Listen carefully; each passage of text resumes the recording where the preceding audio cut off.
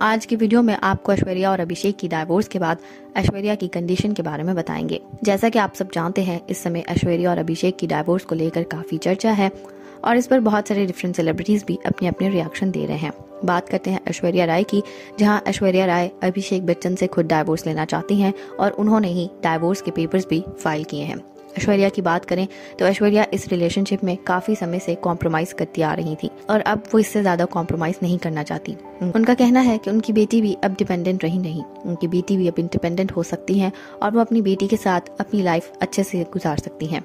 जहाँ उन्होंने divorce file की है, वहीं पर recently Abhishek Bachchan without wedding ring spot किए गए, जिस पर ऐश्वर्या राय ने बहुत ही स्ट्रेंज रिएक्शन दिया।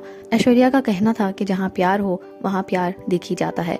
उन्होंने किसी का नाम नहीं लिया किसी कॉन्टेक्स्ट में किसी की बात नहीं की, लेकिन ये बात किसके लिए की गई, ये हम सब समझ सकते हैं।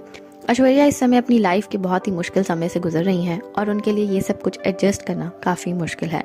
ऐश्वर्या राय ने अभिषेक बच्चन से शादी की और शादी के 16 साल के बाद अब ये रिश्ता टूटने वाला है तो उनका दिल भी टूटा है। जी हाँ एक रिश्ते में चाहे आप कॉम्प्रोमाइज के साथ ही रह रहे हो लेकिन आपको उस रिश्ते से मोहब्बत ज़रूर हो जाती है और यही मोहब्बत अब ऐश्वर्या की कमज़ोरी बन चुकी है। जहाँ वो ये रिश्ता खत्म भी करना चाहती हैं, वहीं एक छोटी सी आस उनके दिल में ये भी है कि कुछ करके ये रिश्ता बच जाए और हम आशा करेंगे कि ये रिश्ता ज़रूर बच जाए। ऐश्वर्या इस समय बिल्कुल भी अच्छी कंडीशन में नहीं है।